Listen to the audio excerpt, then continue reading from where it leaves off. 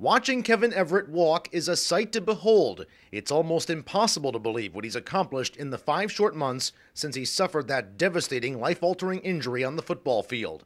Everett credits his faith, his family, and Bills fans, the people of Western New York, for his miraculous recovery.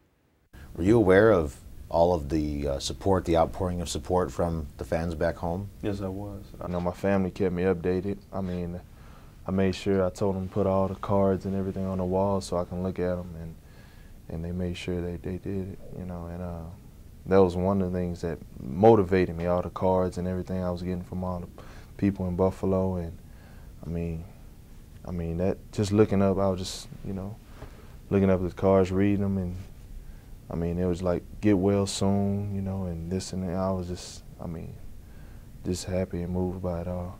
The Buffalo fans, you know, they're very supportive. I mean, you know, the best fans in the league to me, and uh, I mean, you can't ask for nothing better than that.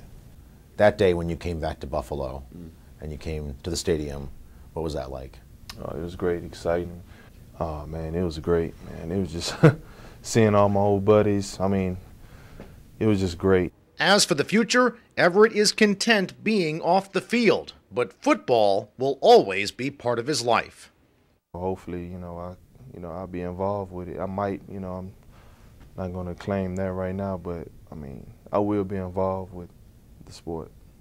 You have a message for the fans back home, and people of Western New York? Yeah, I just want to tell them, you know, hey, I'm, I'm very thankful and love you guys for all the support that you know they gave me and I mean, they still giving me support, sending me letters and you know words of encouragement, and and I just very you know I greatly appreciate it.